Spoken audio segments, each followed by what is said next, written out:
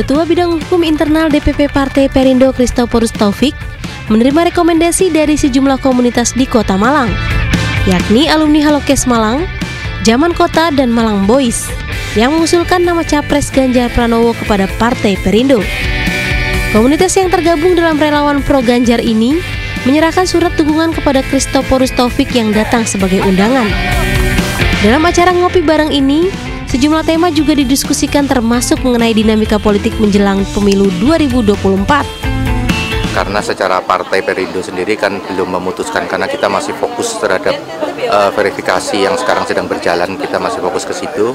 Tetapi karena ada aspirasi dari teman-teman ini saya berterima kasih sekali dipercaya oleh teman-teman untuk membawa aspirasi ini dan untuk menyampaikan ke DPP. Karena kami menganggap bahwa saya Maskis adalah bagian kami dan Maskis ini adalah saudara kami yang termasuk salah satu uh, ketua DPP Perindo melewati beliaunya untuk uh, membawa pesan-pesan dari teman-teman pergerakan nasionalis di Kota Malang agar mengusulkan Bapak Ganjar Pranowo sebagai presiden tahun 2024.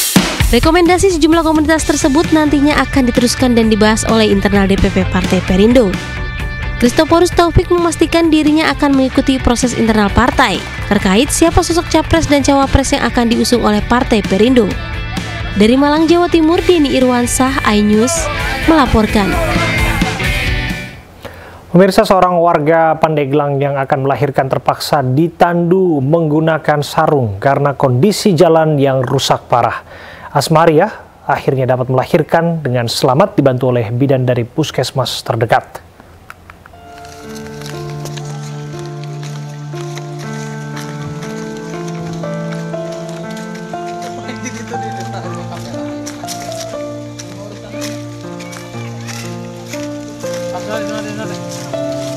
Asmaria seorang warga kampung Babakan Sawah, Desa Lewi Balang, Kecamatan Cikesik, Pandeglang, Banten yang akan melahirkan terpaksa ditandu warga dengan tandu seadanya karena kondisi jalan di desa yang rusak parah.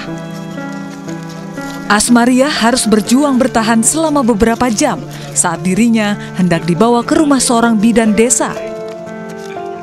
Awalnya Asmaria akan dibawa ke puskesmas terdekat, namun karena jaraknya sejauh 7 kilometer, Kepala Puskesmas berinisiatif mengutus bidan ke pos kesehatan desa yang berjarak satu kilometer dari rumah pasien. Setelah melewati perjuangan panjang, Asmariah berhasil melahirkan putra pertamanya dengan selamat. Ya, memang istri saya melah, kemarin melahirkan.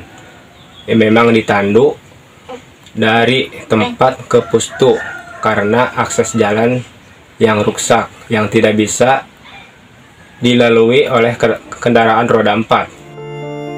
Selain Asmariah, puluhan ibu hamil dan pasien lainnya di desa yang sama juga harus melewati perjuangan serupa demi mendapatkan bantuan kesehatan.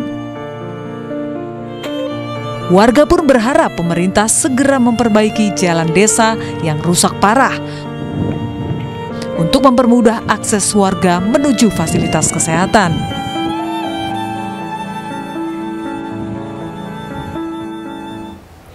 Warga di Kabupaten Pringsewu, Lampung berjibaku menangkap ular jenis piton di sekitar aliran bendungan. Ular sepanjang 4 meter tersebut akan dilepas liarkan ke habitat.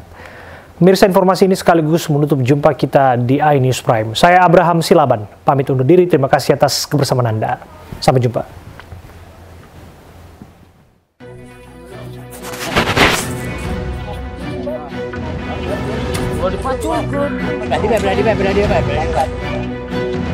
Warga Dusun Kalahang, Pekon Madaraya, Kecamatan Pagelaran Utara, Kabupaten Pringsewu, Lampung, berjibaku menangkap seekor ular jenis piton.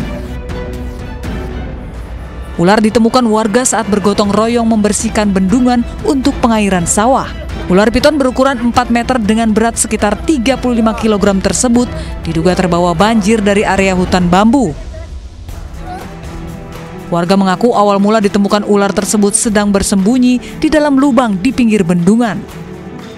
Asalnya dari mana? Asal muasalnya sih kayaknya dari pohon-pohon bambu yang sana itu yang di atas, yang di atas. Penyebab munculnya dari banjirnya. Banjir. Rencananya ular tersebut akan dilepas liarkan ke habitatnya agar tidak mengganggu warga.